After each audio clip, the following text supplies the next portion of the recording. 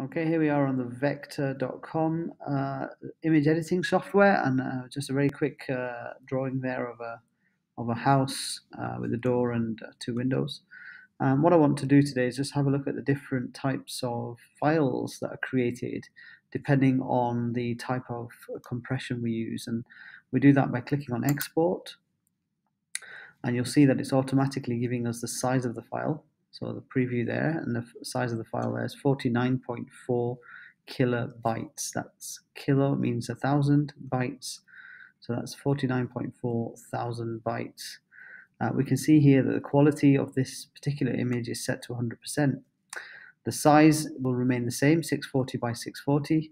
But let's see what happens if we drop the quality down to 50%.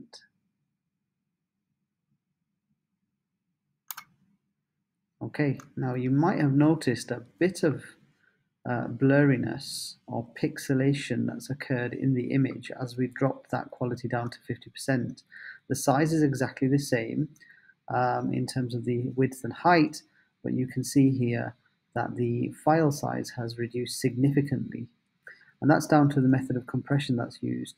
Now this type of compression in a JPEG is a lossy compression. Therefore, we start to notice certain pixels missing. But our brain still works to fill in the gaps. Okay, so we can still see the, the general outline of the, of the image, the house, the colors, etc. Let's see what happens if we drop it down to 0%.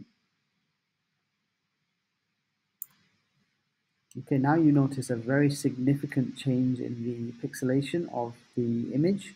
Uh, we're starting to see some real uh, blurriness around the window edges. You can see the actual uh, squared uh, pixels here around the circles. The colors are starting to blur in um, and we've actually ended up um, creating a file which is only 4.4 KB. So we've now gone down by a factor of 10 almost uh, in terms of reducing the file size, but the quality is also significantly poor. Let's see what happens if we change the type of image that's being used and we keep the, the, the image at 100%. So let's go and see if we can change this to a PNG format. Now a PNG format, remember, is a lossless, so we don't lose any of the quality of the image. But you can see straight away the difference there in terms of transparency, so we don't have those, uh, the, the outside layer, uh, colors, sorry, and we also find that the, uh, the, the, compression has allowed us to reduce the file size by a significant amount of, of, kilobytes. So it's now 26 kilobytes as opposed to the 40, uh, 49 that it was before in the JPEG. Right, 49.4. But we haven't seen a visual change in the quality of the image, and that's just the way that the image is being compressed uh, for a PNG. Let's try SVG as well, see how that works. And again, we've got a significant reduction in the file size, 1.9 kilobytes now.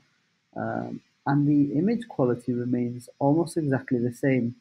So these two types of compression, the SVG and the PNG, are lossless. We don't lose quality. Uh, however, uh, we, we are able to save a significant amount of data there. So we can understand that actually using these file types uh, a PNG and SVG might be more worthwhile where we have less storage in the device, or we might want to use them for web pages uh, where we want to transmit the data and the images very quickly. There you have it. That's a very short example, an experiment. So uh, uh, to show you the difference between a, a lossy and a lossless type of image compression.